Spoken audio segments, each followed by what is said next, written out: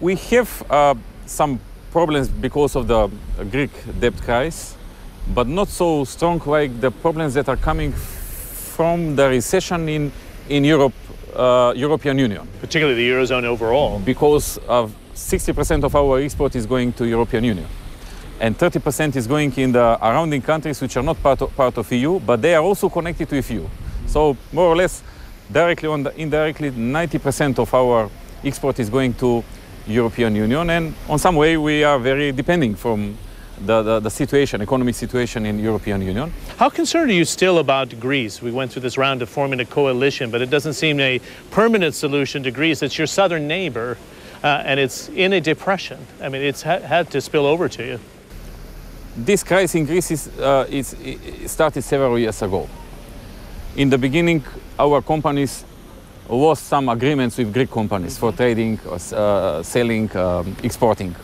Step by step, very soon our companies find some compensation, making agreements with another companies for another countries. So more or less now we stabilize these uh, problems.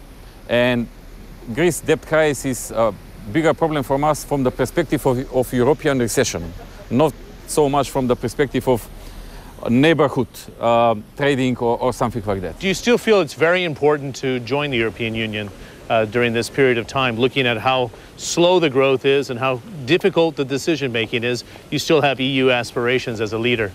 We have uh, EU aspirations. That's important for the countries on the Balkan Peninsula. The countries which in the past had a lot of problems now are stabilized, and to have some perspective of long-term stability that will be very good all countries in the Balkan Peninsula uh, to become uh, to become uh, members of uh, European Union. It's interesting. You've been able to uh, garner up to six percent of GDP in foreign direct investment. That's come down because of the Euro, eurozone slowdown. Are you looking further east, like here in Russia and even into China, uh, to attract your next round of foreign direct investment? Of course, in these difficult times for, for European Union and, and European monetary zone, we are trying to attract more investors from another uh, continents and, and parts of, of the world which are not affected from the crisis so much or are not completely affected.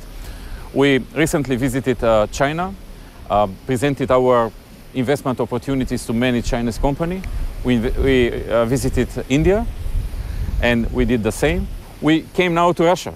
We are four days here, uh, going to four different regions in Russia, mm. meeting more than 230 companies and presenting to them what are the, the advantages of Macedonia as a location for making business in Europe. And there are a lot of advantages.